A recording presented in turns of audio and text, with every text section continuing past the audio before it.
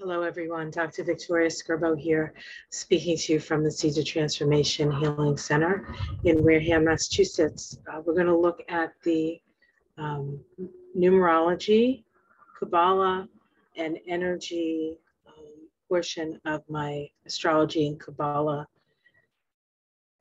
uh, presentation that I do uh, every every month. And uh, of course, we're doing it for July 2022, so it's different than June.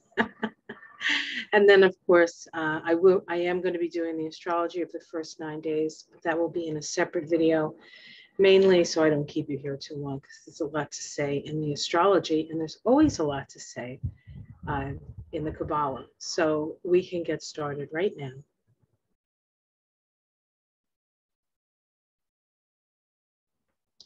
Okay, so as I usually start, we're going to start with the numbers.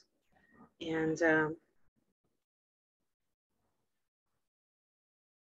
the numerology of July 2022, the monthly vibration is the seven. Of course, July is the seventh month.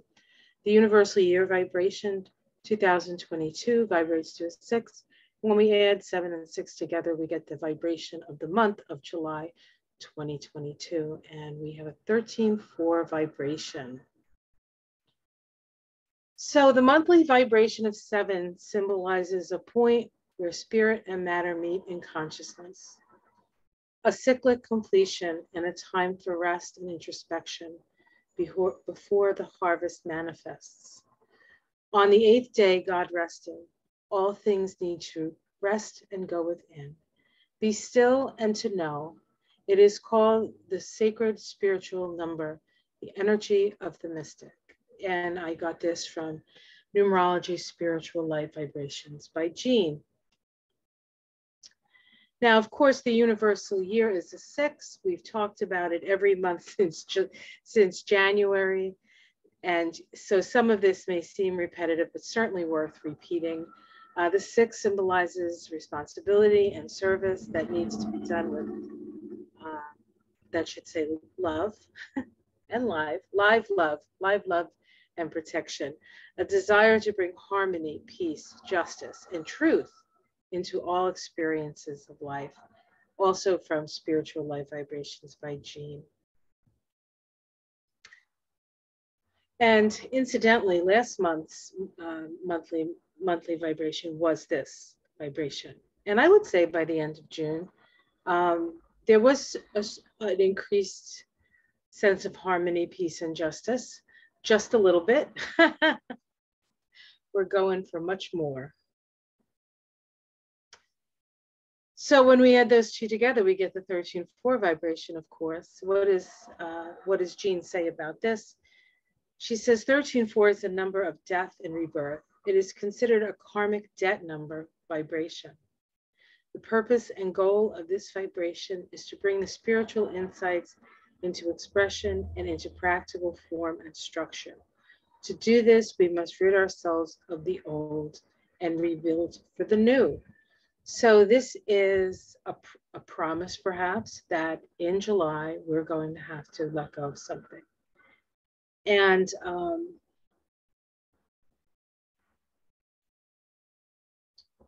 this vibration, this 13-4, is connected to the sign of Scorpio.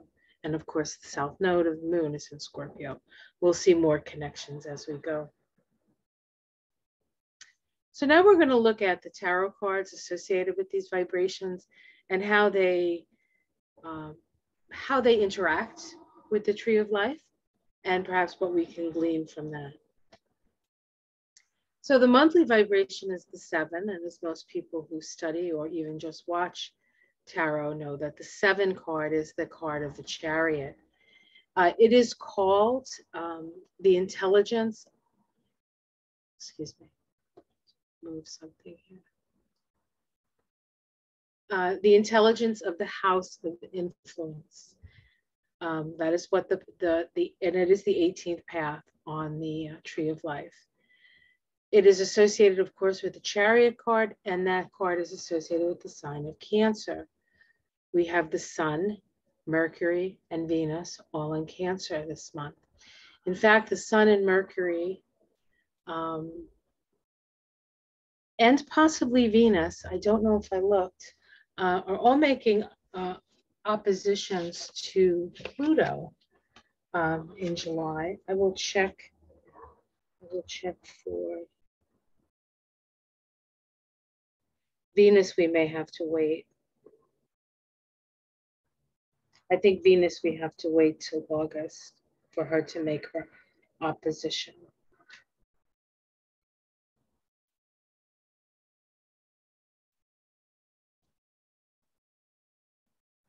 I believe so.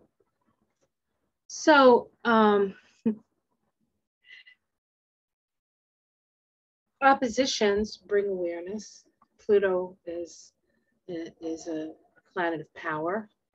It's really coming up against forces greater than yourself. So we could have some realizations around that. Um, what we have um, agency over and what we don't, and then perhaps to work from that point knowing your limitations, knowing knowing how far you can go to the edge before you have to pull back, perhaps. Um, when this card represents swift movement in the direction of your destiny. This is the path where the soul takes on the armor of the personality to do the work of the soul.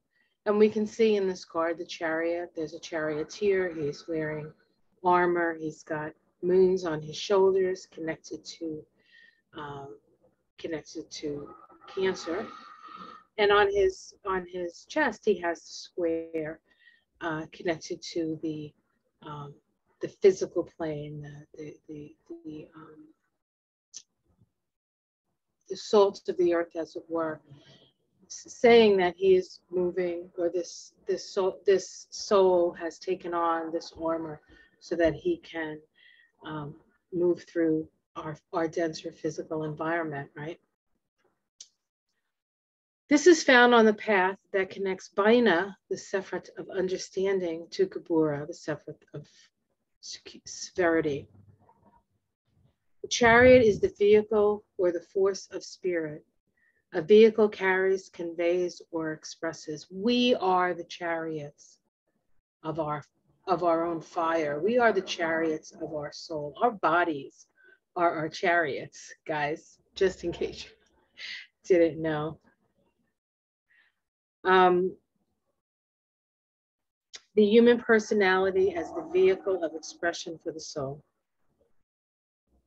You can be moving on to a new path, which involves the essence of your spirit. Seven is really the essence of your spirit. It's self analysis, it's self knowledge, it's um, introspection, it's to a certain extent isolation. So there is a vibration in this month uh, where you will want to have time to yourself. And however way you have to find that, find it because it's imperative, I think, for us to move through the challenges and the energy shifts that are definitely happening this this this month.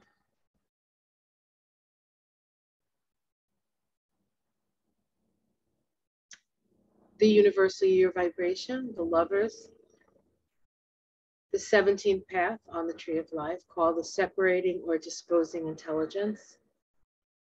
This is the card of the lovers. It's associated with the sign of Gemini. Both Mercury and Venus move through Gemini this month. This is even more than a card of love, which most people say, oh, the lovers, it's a card of love, but it's really a card of choice. It is found on the path that connects Baina, the Sephiroth of understanding, the divine feminine, mother goddess, with Tiphereth, beauty, balance, harmony, the sun, S-U-N, the Sun, S-O-N. The Christ consciousness, 17th path. So that's the path that we're walking on all year. And we see it in Gemini, the reality of our duality. I like that. The lovers represent the sword that slashes down through the cosmos, separating the whole of us into discrete forms. The sword distributes gender and polarity through the universe, creating the tension of opposites.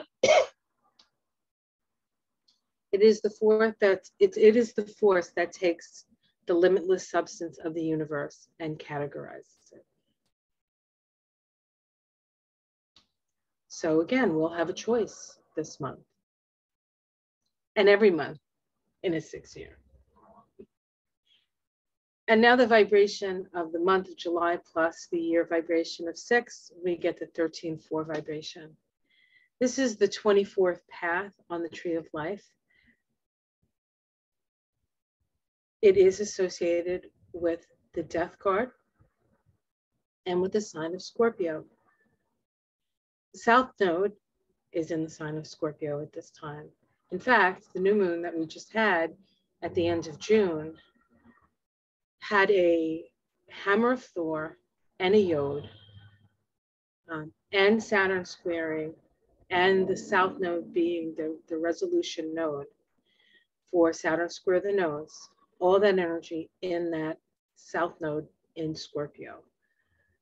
And we need to see the we need to see the, the shadow so that we can understand it,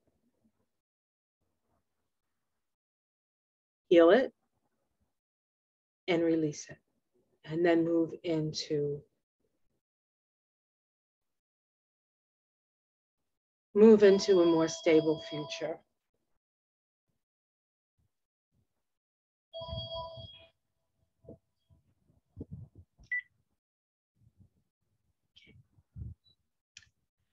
Um, this is a path of change and regeneration, a path where the personality must surrender to the soul. It's interesting that the seven vibration is the way the soul comes into incarnation, and it is in this vibration, the death vibration, where we let go of the the personality and move towards the soul. Very interesting. And both those paths, both the path, well, no, okay, that's enough. I was thinking of something, it'd be too hard to explain. This we must desire to aspire. That's our desire on this path, our desire to aspire. Uh, new thought forms replacing old. Death is our protection against stagnation. So, wherever there is stagnation in your life, this may be a good place to clear it out. I have a few places of stagnation in my house that really, really need clearing out. And I think that's going to be one of the things I do in July. Um, just a lot of, still have a lot of my mother's things, just have boxes from things that were sent. All of that is out. All of that is out and only keeping the precious things, right? Only the things that really matter or that are useful to you, right? Um, this is the path where we face our deepest fears. So in that respect, I would avoid being fearful. Now, we all have fears, and uh, fear is something that we need to pay attention to. But if it's a fear that comes from ruminating in the mind, it's different than a fear that comes from something you feel in your body. The one that you feel in your body is the truth. The one that's in your mind may not be. So, this really is a, in a way of releasing of the fear so that we can move into our bodies, the North Node in Taurus. Um, the 13-4 is a karmic debt number. The purpose and goal of this number is to bring spiritual insights into expression and into practical form and structure. Karmic debt numbers are numbers that we agreed to, to move through it's like preordained that we would have this, these experiences on with this particular vibration. So if you're here witnessing it, you're you you need to be. you're here to witness it. You're here to understand it. And that understanding, your own personal understanding and everybody else's own personal understanding blends into a sense of a fuller understanding for all of us, honestly. Energetically, that's the way it works. Consciously, people may not be understanding it from a mental perspective, but from an energetic perspective, they will. And they will call it what they'll call it. But we can be, we need to be stronger. We need to rise up from this pit, this black pit of the South Node in, in, in Scorpio. And not that Scorpio is a black pit or people who are Scorpios are a black pit, but this is, these are demons and dragons and fears and, and shame and, and, and all those things that you, you just, you, you just wouldn't want to divulge are getting divulged. Um, but it's the nature of what's going on right now. And necessary for the new to come in, for the old to be um, pretty much pooped out. Um, Scorpio rules poop and the ability to poop, actually, I think. So there you go.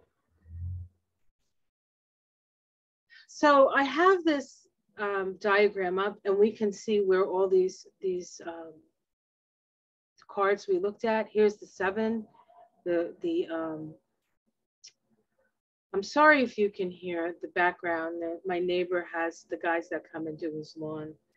Hopefully it's not too disturbing to you. I always think it's a lot more disturbing to you than it actually ends up being. So hopefully, and um, I wouldn't dare close the window because it's really, really hot.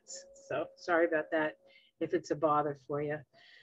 So we have, um, we have the, um, the, the chariot card on the path between Baina and Gabura. Baina is in the supernal triangle, right? This is this triangle of spirit right here, the supernal triangle. This is the triangle of soul. This is the triangle of personality. And this is our life on life. This is our manifested existence. This is the only thing on the tree of life that has form. Everything else is in the higher vibrational states. Of course, the highest being Keter. Um, so we, we have a lot of energy coming from pretty high up on the tree. We have two of the cards connected to Baina, the, the divine feminine. And there's, I'm sorry, I have to do this. This is driving me crazy.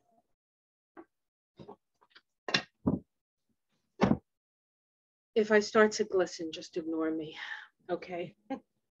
Too noisy for me. All right, so uh, we have two of these paths connected to Baina, the divine feminine.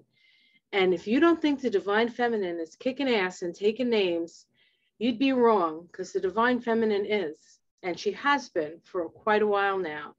So it does take time to overturn the ship called the patriarchy, the power over the fascist state, or whatever you want to call it right? The energy of control, control over women's bodies.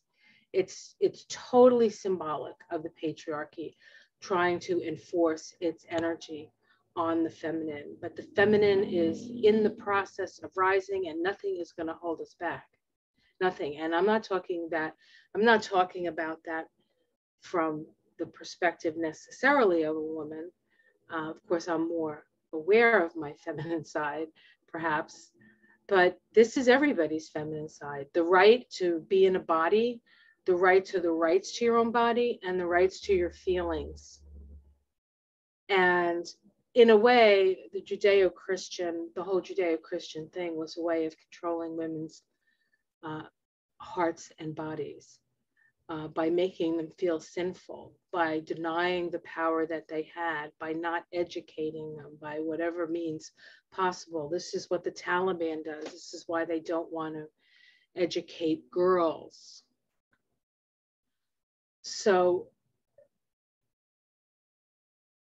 we are rising. And there And we can see the energy of this in the mere fact that Bina is so prominent. The mother goddess is so prominent in this uh, in this monthly vibrational state we find ourselves in. And then we come down here where we have the death card connecting Tiphereth, the Sephiroth of beauty and balance, with Netzach, the, the, the, the, the Sephiroth of our feelings, the forces of nature. This is a Venus ruled Sephiroth. Netzach is Venus ruled. This is the sun, the sun and Venus moving through uh, the sun moving through Cancer and then Leo, and Venus moving through Gemini and Cancer. This is, and these are the two signs. So we have Gemini and Cancer. So this Gemini Cancer energy is quite powerful this month. If we look at the pillars, the pillar of severity or destruction, this is actually the feminine side. The pillar of mercy or creation, this is the masculine side. And then we have the, the pillar of mildness or harmony, or also called the pillar of transformation, the past, the present, and the future. We have Bina activated on two paths, connecting the present moment, right? The present moment with the future. We are creating our future day by day. So there's no point in looking too far ahead. We just need to look what, at what's in front of us. And then here we have Tiphereth, which is in the, the place of the, um, the, the present, right? The place of power, the only place where we really have power. And the, this path connects the pillar of the past. And this is Scorpio. This is this is the um, the death card. Letting go of the past in order to create the future.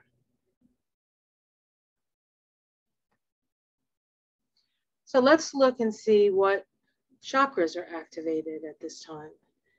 Um, if we look at the on the right side of this, we see all the chakras listed and all the levels of the tree of life. The seven vibration, and the seven vibration is right here on the tree of life.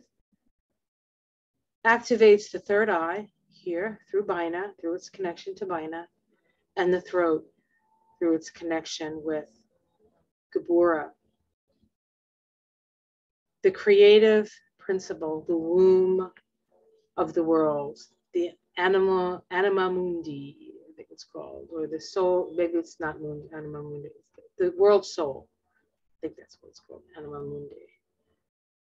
Uh, connecting to the spiritual warrior, Mars. Mars starts the month in Aries, shifts into Taurus on the 5th, I believe, and um, plods through Taurus for the rest of the month, step by step, slowly and surely, and slowly and surely. You will get there. It just, we have to be patient. In fact, seven is a vibration of patience as well. The sixth vibration activates the third eye to the heart. Third eye to the heart through the path of the lover's card right here, connecting Bina, the Divine Mother, to her son, S O N S U N, Christ consciousness. All the sacrifice gods, Mithra, Dionysus, Osiris, they all sit here in Tiphereth, the mediator. It mediates the lower tree, the lower tree from the higher tree. It mediates that. It's the center of the tree, located in the heart chakra. But what do we love? And what do we see? And how does that line up? Seen on this path. And then the 13 4 vibration here connects the heart with the solar plexus, following your heart, following your heart, allowing your solar plexus to act as a conduit for what you feel in your heart, and also a conduit for what the higher tree wants us to accomplish. Because the lower tree, these, these four sephot are there because we're incarnate. When we disincarnate, they sort of go back up like um, like the spaceship, you know, when the when the aliens come, it goes down, whoop, and then it comes up, whoop, that's us. That's us. And it activates the heart and the solar plexus. So the power that you have now is to effectuate your world through that which is most true to your heart. And the things that we need to let go of are any sense, any sense at all of unworthiness. So the third eye or anja, anja means to perceive or to command. The path of the chariot, the path of the lovers activate the third eye through the Sephiroth Baina or Bana, the divine feminine, the world soul, the Sephiroth of understanding. So our third eyes are pumping, of course, all year because we're looking at this also being activated by the universal year, the sixth year. The throat chakra, Vishuddha, which means to purify. The path of the chariot activates the throat through the Sephiroth Gabura, the Sephiroth of severity. This is the red one. This is the one ruled by Mars, whose symbol is a sword, the sword of justice. Gabura is also connected to the path of justice, the justice card, the 11 vibration. The, in fact, the sword that the um, the sword that the justice that justice holds is the sword of Gabora, and the scales are the scales of Tipura, balance.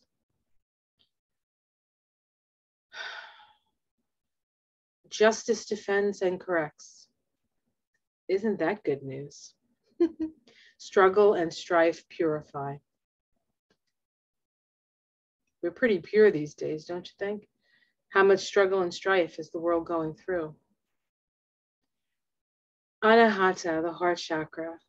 The word anahata means unstruck, meaning the sound of creation that didn't have to strike anything else to make a sound. The path of the lovers and the, and the path of death activate the heart chakra via the Sephiroth Tiphereth, the Sephiroth of beauty, where divine will is directed toward harmony and natural balance. And Manipura, the solar plexus or lustrous gem. The path of death activates the solar plexus this month through the Sephiroth Netzach. In the Sephiroth of Netzach is the Sephiroth of victory. Netzach releases floods of powerful, formless, and uninhibited emotions so there's going to be a lot of things coming out, people expressing themselves. You have to step back from it. You have the right to express yourself, say what you need to say. Um, but we really have to be aware that this is a huge sort of flush in a way of a lot of very difficult feelings that people have stuffed and suppressed for lifetimes. So, what can we do? We can hold the space, we can shine our light, we can hold everyone, and I mean everyone, even the green, the, the orange monster there, in in poise and peace so that they can learn the lesson they need to learn and we can start to build our future instead of this ridiculous past crap where nothing gets done and everybody's pointing fingers and all the, and four fingers are pointing back. So that doesn't help. Doesn't help. We're here to learn to love. Six is a vibration of community and service. And we have to learn how to be of service to each other this year and this month. Well, this year for sure. So I'm going to leave it at that. I do. I am going to do the astrology. It's it's nine days, so it's a little bit longer, and there are quite a quite a few things happening, including the solar return for the United States. I'm going to take a look at that. Um, the fact that the um, the Mars return for the January 6th insurrection occurs on um, the 4th of July. And I heard from a, a, a watcher that perhaps um, the ex president may be announcing his campaign for presidency on the 4th of July. And uh, that has me a bit concerned. So we will see. But we will see, right? Uh, but just a bit, not too concerned to lose any sleep, and certainly not too concerned to do the work that I'm here to do. And part of that work is to talk to you guys every month. So I hope you enjoyed this. Please like and subscribe. If you would like a reading with me, you can contact me on my website, theseedsoftransformation.com. Um, there is a link below if you're interested. And I am going to an announcement for my Kabbalah students. Um, I have had um, two, two groups of students take beginners Kabbalah. And uh, I'm going to be doing another Kabbalah class in about two weeks. Uh, I still have to look at the schedule. I will I will put it up on the community tab or on the community page if you want to know when it's actually going to start. Um, we're going to look at um, how it connects to the numbers uh, and numerology, and we're going to look at how it connects to the tarot uh, a little bit more deeply and some other fun stuff. So if you would be interested, and probably quite a healthy dose of astrology, why not, right? Six weeks, we can fit it all in, can't we? But what what we do fit in is always great, and the people are wonderful. So uh, for my old students there and my new students, if you're interested in that, um, just uh, keep your eye on the community page. All right, guys, take care. Much love. See you next month. Ciao.